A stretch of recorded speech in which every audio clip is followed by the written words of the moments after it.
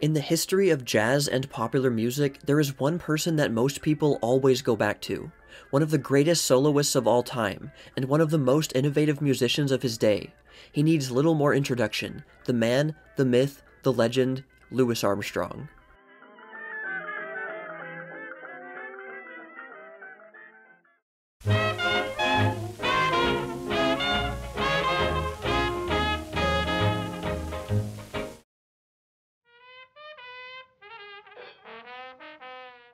Louis Armstrong was born in New Orleans on August 4, 1901, in a rough, poor area known as Back o' Town. His mother, Mary Ann, was only 15 years old when he was born, and his father, Willie Armstrong, abandoned the two of them shortly afterward. Mary Ann gave little Louis to Willie's mother, who lived in Storyville, the infamous red light district of Old New Orleans. It's safe to say that Armstrong's childhood was not stable. His father wasn't in the picture aside from a few short lived reunions, and his mother was probably working as a prostitute. He had only one sibling, Lucy, who later went by the nickname Mama Lucy. And he grew up in a very sleazy area filled with brothels and gritty clubs with such names as Funky Butt Hall.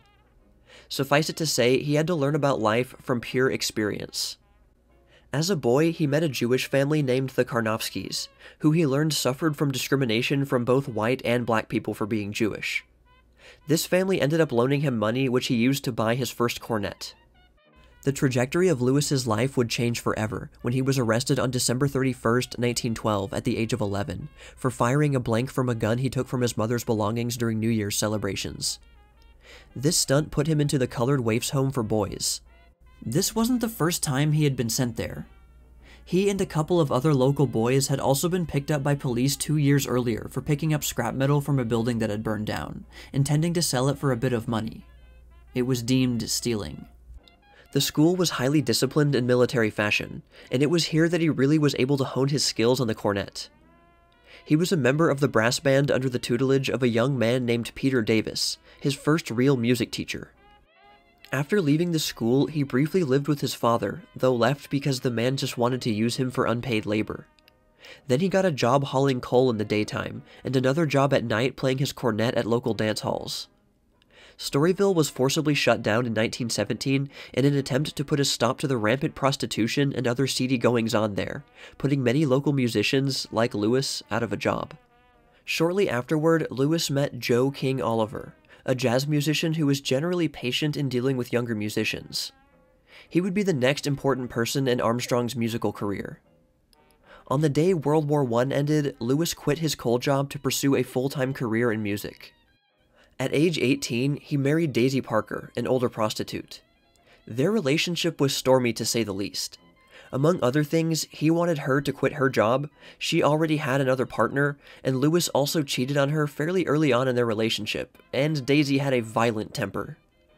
Also coming along with them was a young boy named Clarence, the son of a dead relative. When he was three years old, Clarence fell from the second story of their apartment, and he was mentally handicapped thereafter, filling young Louis Armstrong with immense guilt. Though he would provide for the boy all the way up until his own death decades later. Not long after setting out for a career in music, Armstrong got his first real break when he was offered to play in Fate Marable's band on a riverboat going up the Mississippi River in 1919. Here he would be part of a more disciplined band, and play alongside other jazzmen who would later become famous in their own right, such as Pops Foster and Warren Baby Dodds. For this extended trip, Armstrong received $37.50 a week, as well as an additional $5 at the conclusion of the cruise. The music he played on this riverboat would probably not be considered jazz as we know it.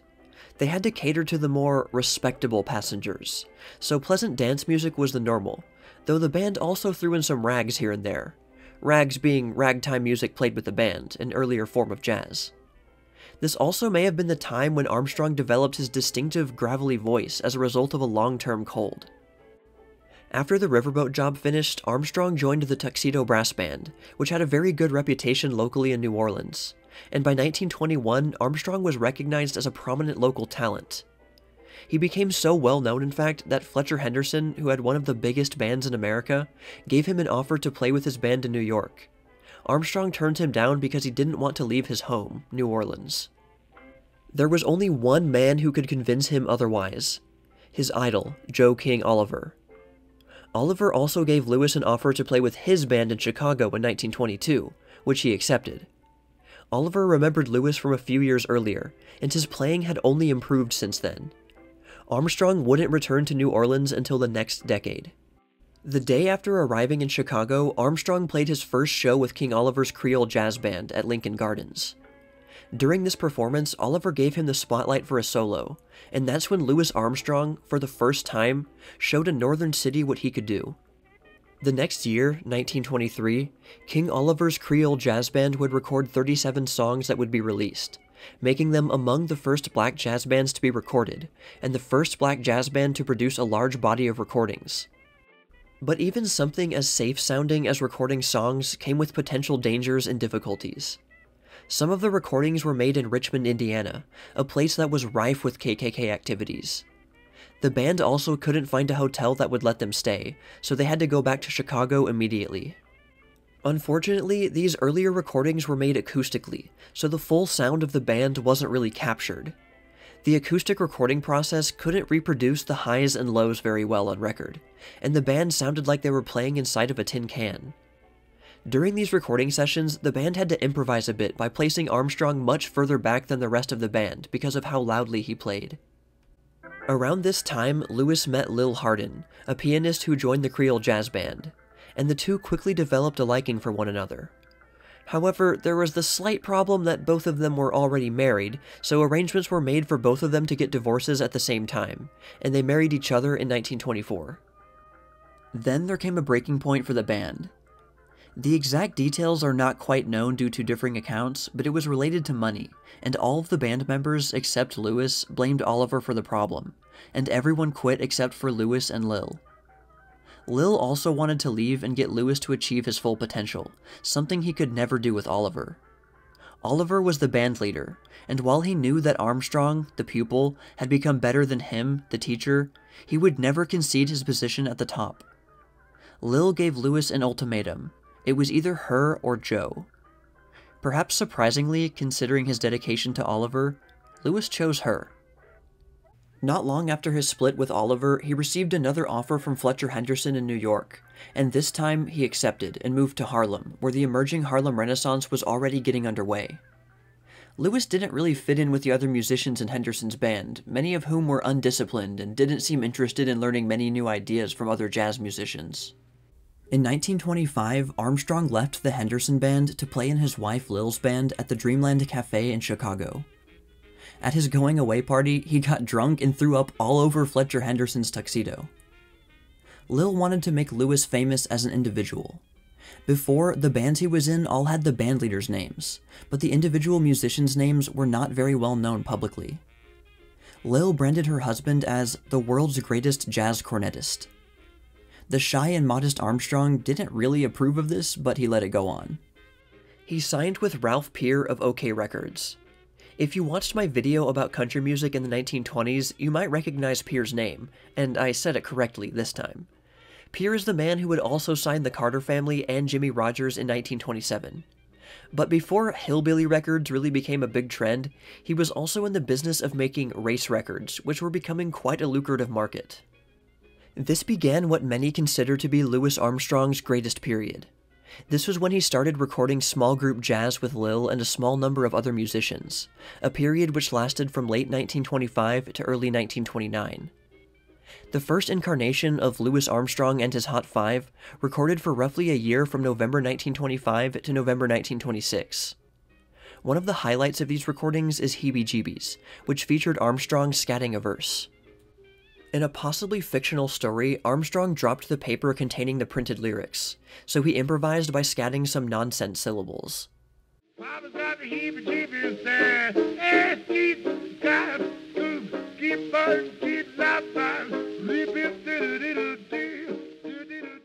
Armstrong is sometimes credited with popularizing scatting with this record, though definitely didn't invent the technique as was sometimes believed long ago and Louis himself absolutely never would have claimed that he did.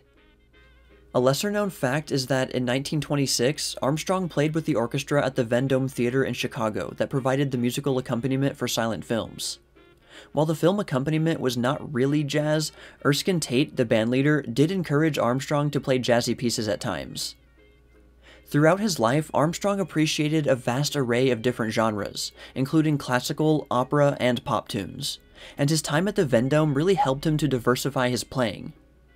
And it was because of his time playing at the Vendome Theater that he switched from cornet to trumpet, because Tate wanted him to do so for the performances. This explanation for switching from cornet to trumpet was given by Louis himself in a later interview, though there are other theories or further contributing factors that are still thrown around, including the simple explanation that, in the jazz world in general at that time, trumpets had overtaken cornets in popularity. Louis and Lil's marriage was struggling. Louis, already with a history of infidelity, began living with another woman and her family while he was still legally married to Lil. But it wasn't only that. Lil was very ambitious, and she pushed Louis to do things he didn't necessarily want to do. He was only there to play music, and he was generally very passive about how he went about it on the business side of things. But could you really blame Lil for pushing him so much? Here was a man with a great talent who wasn't really achieving his full potential due in part to his modesty. It's not crazy to say that without Lil, Louis Armstrong might not have become as famous as he did. He quit Lil's band and accepted an offer from the pianist Earl Hines to play with his band. Louis had almost reunited with Joe Oliver, but in the end decided against it. During this time, the recording industry was going through a big change the introduction of the electric recording process. This made it possible to record a wider range of sounds and make them significantly clearer on record. In 1927, Armstrong returned to the studio with his Hot Five musicians, with Lil replaced by Earl Hines on piano. But two more musicians were added a drummer and a tuba player, who would sound much better on record now that electrically recorded songs were quickly becoming the norm. It was at this time that the Hot Seven made such influential recordings as Willie the Weeper, Weary Blues, and Potato Head Blues.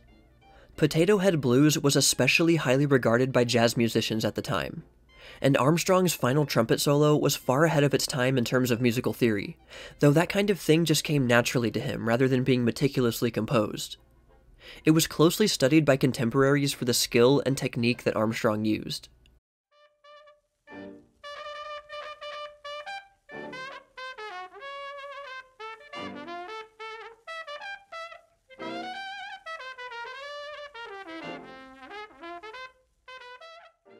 Armstrong played with Earl Hines and others such as Zutty Singleton at the Sunset Cafe in Chicago, though it was often shut down for alcohol violations during Prohibition. And amidst these closures, Armstrong, Hines, and Singleton had to search for gigs. Once, Armstrong and Singleton got a gig at Chicago's Savoy Ballroom without Hines, which damaged their relationship, though they continued to record together. The Hot Seven turned back into the Hot Five again, and in 1928 they made perhaps their most influential recording of all, and one which could certainly qualify as the most influential jazz song of the 1920s. That song was West End Blues. The recording's introduction featured a trumpet solo from Armstrong, followed by a mellow melody throughout the middle, then soft and gentle scatting from Armstrong, and a fantastic final trumpet solo from him. West End Blues had also been recorded by Joe Oliver only a few months earlier, but a quick comparison of the introduction will show how much hotter Armstrong's playing was although it should be noted that apparently Oliver didn't play the solos on his recording. And as an interesting little side note, 1928 was also the year that Armstrong began using marijuana regularly. It's not entirely clear how familiar he was with the drug previously, though we can probably assume he at least knew about it for a pretty long time considering where he grew up in New Orleans. The next year, as the Savoy Ballroom in Chicago was struggling to stay open and wasn't paying the musicians on time, Armstrong moved back to New York and worked with Luis Russell, and made some rare racially mixed recordings with skilled white jazzmen like Jack Teagarden, Eddie Condon, and Eddie Lang.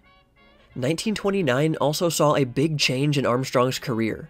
He would switch to a large big band and start to play more popular songs. And then there came another opportunity that would launch him more into the mainstream rather than just being famous among jazz musicians. Up to this point, while his recordings were extremely influential among other jazz musicians, most average people still weren't too familiar with Louis Armstrong's name or music, at least outside of the few cities he played in. And there were two necessary factors in successfully reaching a mainstream audience at that time white people and pop songs. After one unsuccessful stint at a revue show, he was in another revue on Broadway called Hot Chocolates, which was co written by a rising musician and songwriter, Fats Waller. In Hot Chocolates, Armstrong sang Ain't Misbehavin', which proved to be wildly successful in New York. And with that, mainstream white audiences were introduced to perhaps the greatest musician of that generation. And now, Louis Armstrong had his foot in the door to a truly mainstream audience and this would be his first step to national and international stardom. The success of his appearance in Hot Chocolates and his popular featured song motivated Armstrong to record almost exclusively popular songs throughout the rest of 1929. But that's not to say that there weren't jazz elements to them, as well as generous helpings of trumpet solos. These recordings were, however, watered down with pop melodies enough that they could be distributed to the white parts of town. But not only was his overall popularity increasing rapidly, he was becoming known as an influential vocalist, not just a jazz instrumentalist. This is especially interesting considering how gravelly and rough his voice sounded. Looking back, it might be surprising that Armstrong found any success as a singer at that time, so I think it's really important to talk about this aspect of Louis Armstrong at least a little bit. While his vocal range was fairly limited, he was full of techniques, one of which, scatting, I mentioned before but his phrasing proved very influential as well, and was perhaps his biggest influence on future jazz vocalists. Vocal phrasing is a kind of vague term meaning how a vocalist uses rhythm, spacing, and melody when singing. When you imagine a singer, you immediately think of someone singing a melody straight into the point. But Armstrong, as well as some other jazz vocalists at that time, jazzed up the vocal melody over the straight background melody. Maybe the most well known example of Armstrong using this technique is his later recording All of Me from 1932. Armstrong's phrasing would influence countless other singers in the following years, most prominent of them probably being Bing Crosby, who never hesitated to express his admiration for Armstrong. And of course, Armstrong's voice was also very distinctive. It's one of those voices that people can immediately match with the person because no one else sounded like that. This was important for branding, though like I said before, this wasn't really something that he actively pursued. Not to mention his very personable and casual stage presence, and use of hip jive long before the bebop hipsters 20 years into the future. And this is where Louis Armstrong closed the 1920s, as a rising star in popular music and culture, but already a jazz legend. But as most of you probably already know, that was just the beginning, and he would continue to be an influential and well known figure even decades later. Despite some of his personal flaws, such as his constant infidelity, he seemed like a really cool guy to jam with, always eager to entertain and talk music with a jiving flair. A modest man with a great talent. Personally, for me, he is high up on the list of 1920s people I would like to hang out with.